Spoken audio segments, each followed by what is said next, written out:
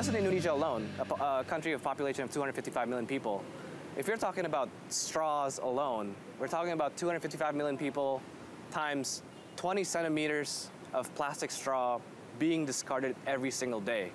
That is 5,000 kilometers of plastic being discarded on a daily basis. And that is equivalent the distance of Jakarta to Sydney. Scientists are now warning that there is more than a ton of plastic garbage for every person on the planet.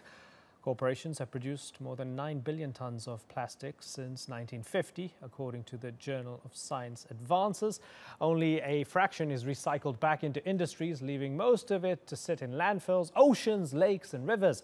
The problem is so severe that researchers have labeled the trash permanent pollution. Well, joining me now here in the studio is Hilal Elver. She's a United Nations Special Rapporteur on Right to Food, also a law professor at the University of California, Santa Barbara and Los Angeles campuses. Thanks so much for joining us, Ms. Elver. So we're wasting and dumping food when hundreds of millions starve. We're taking all these tons of trash and throwing them into the oceans and suffocating the oceans. Apart from that, I, I hear we're nice people. How bad is it? I think it's very bad. The bad is we don't talk too much, even worse, because we don't have a real consciousness about what is happening because of this, uh, especially plastics that mm -hmm. in, mm-hmm. in our environment. So it's very important to raise the consciousness that uh, to take care of the mm -hmm. problem, which is not possible to clean up. Mm -hmm. We mm-hmm. can only stop. So when when I read in preparation for this, a million plastic bottles are bought around the world a minute. By 2050, according to the Ellen MacArthur Foundation, the ocean will contain more plastic by weight than fish. Yes.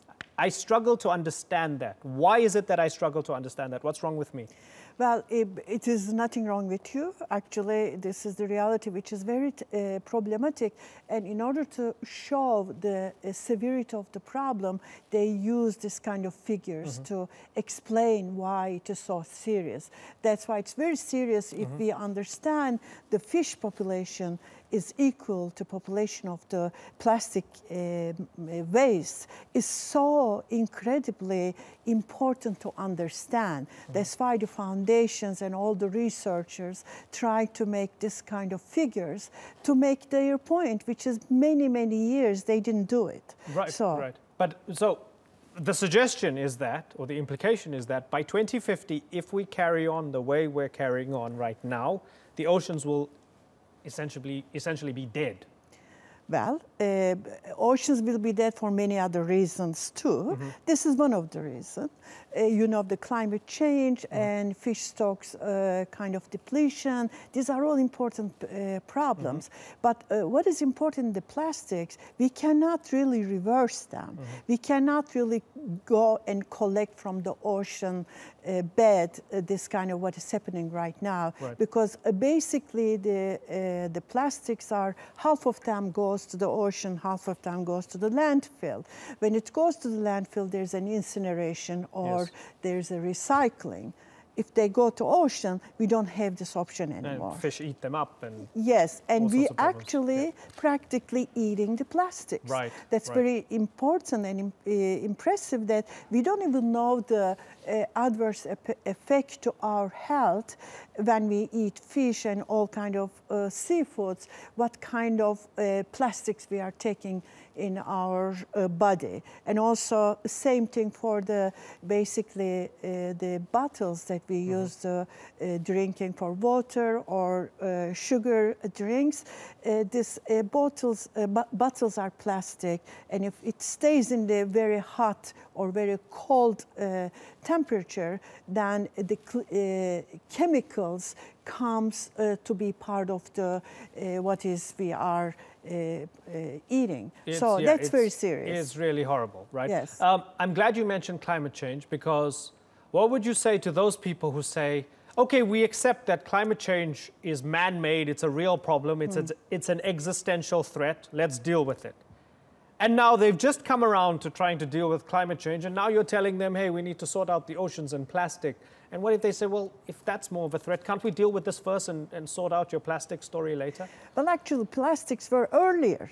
That's very interesting because mm. this environmental pollutions uh, uh, came uh, to our uh, kind of uh, conversation in 1960s, 70s.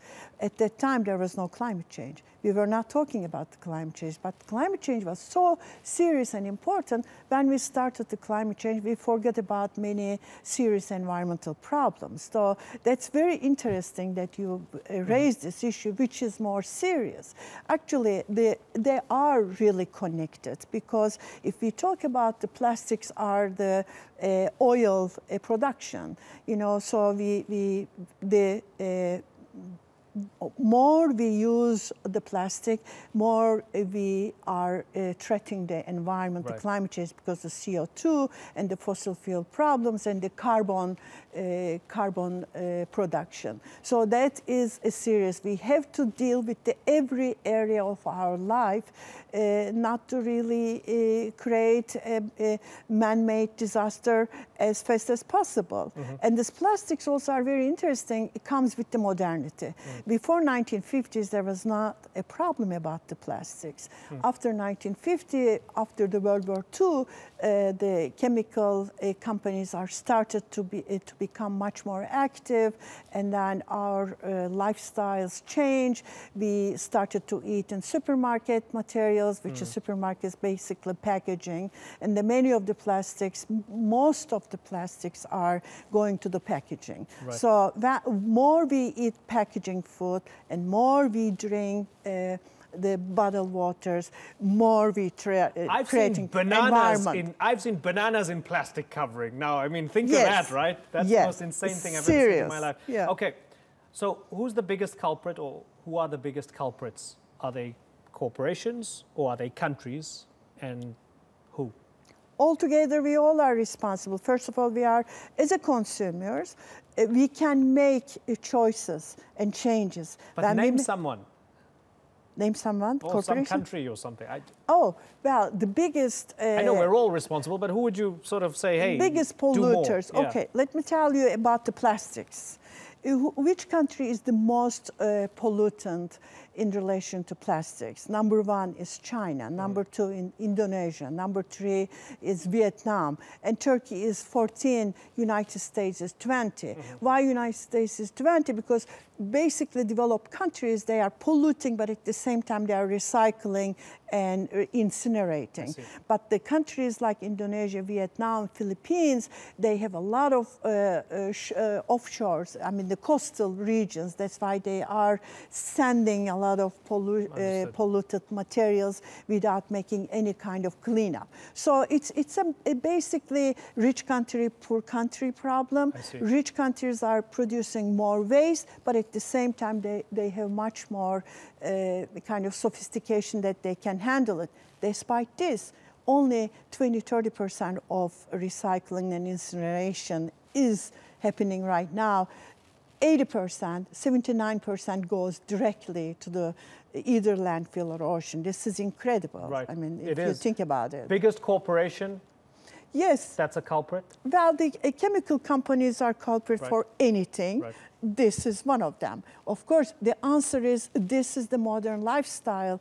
If you don't have a bottled water and if there is a no cleaning a clean water, how do you uh, make the people uh, drinking cleaning water. Yes. That's their argument. Right. So what we should do, we should bring the clean water to everyone else with the governments are responsible on that. So we all have to work together. Governments should regulate, corporations stop making so much profit, and the, we consumers are trying to consume more responsibly. Hilal Elver, I've learned so much from you. Thank you very much for Thank you very us. much.